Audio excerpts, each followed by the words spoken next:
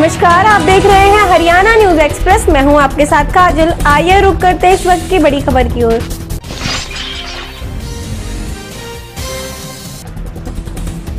यमुनानगर के जगाधरी में भाजपा कार्यालय के बाहर पहुंचकर आज किसानों ने भाजपा सरकार के खिलाफ जमकर नारेबाजी की। इस दौरान खट्टर और मोदी मुर्दाबाद के नारे भी लगाए गए। भाजपा के पूर्व प्रदेश अध्यक्ष सुभाष बराला आज कार्यकर्ताओं की मीटिंग लेने के लिए पहुँचे थे। उनकी मीटिंग का समय प्रातः 10 से 3 बजे तक का रखा गया था। लेकिन सुभाष बराला मीटिंग समाप्ति के दो घंटे पहले ही यहाँ से निकल पड़े। जैसे ही इसकी भनक किसानों को लगी तो वे तुरंत ही भाजपा कार्यालय पर पहुँच गए।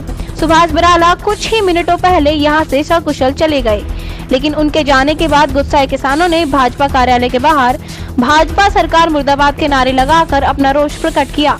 यमुनानगर से हमारे संवाददाता राजीव जाली की रिपोर्ट।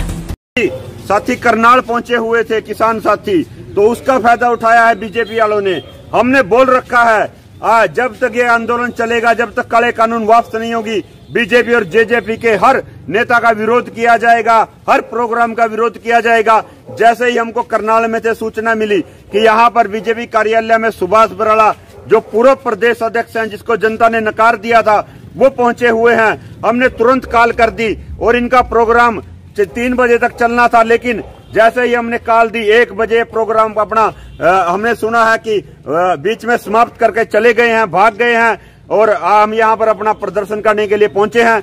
और हमको एक सूचना और मिली है कि अभी चार बजे तिगरी गाँव में प्रोग्राम है इनका। वहाँ पर भी जाएँगे पूरा ज़ोर विरोध किए करेंगे गाँव में घुसने नहीं देंगे। किसानों की जीत तो इसमें को नहीं कहेंगे।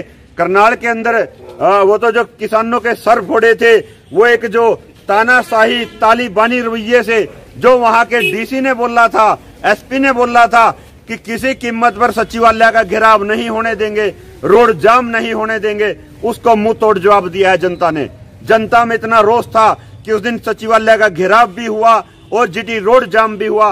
और आज प्रशासन को किसानों के आगे झुकना भी पड़ा। तो कुल समझौता हो चुका है वहाँ पर जो किसान हमारा शहीद हुआ था उसके परिवार के दो सदस्यों को नौकरी मिलेगी और जिस एसडीएम दोषी एसडीएम है जिसके खिलाफ कार्रवाई की मांग की थी हाई कोर्ट के जज जो है उसकी इंक्वायरी करेगा और इंक्वायरी का समय एक महीने का रखा है और जब तक इंक्वायरी जारी रहेगी वो एसडीएम काम पर नहीं आएगा वो छुट्टी पर रहेगा उसको ज़बरदस्ती छुट्टी दे दी गई है एक महीने तक जब तक इंक्वायरी चलेगी।